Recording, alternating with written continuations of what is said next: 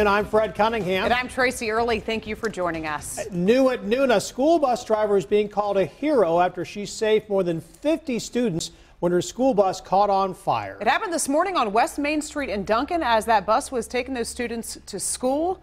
The bus driver we now know is this woman, Teresa Strobel. 7 News' Vanessa de la Vina has more from Duncan on Strobel's heroic save.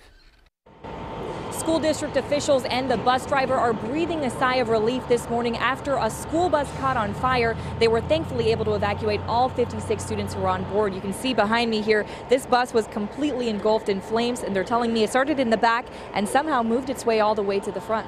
School district officials tell us the bus was on its way to take these students to school when two students on the back of the bus saw the smoke and immediately notified the driver. Then the driver jumped into action, getting those students off of the bus in minutes. Superintendent Scott Turner is praising that bus driver's actions this morning, calling her heroic as she saved all 56 students from that fire. We are so proud of our bus driver. Um, she did exactly what she was trained to do. She was calm.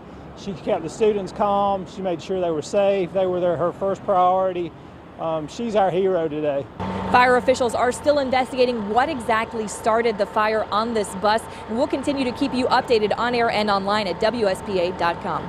In Duncan, Vanessa de la Vina, 7 News. A district spokesperson says there were some concerns about this type of bus from 1995 after other problems and fires.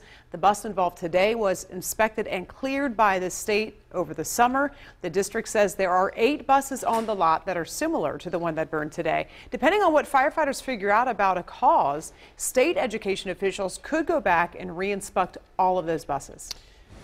Well, the man accused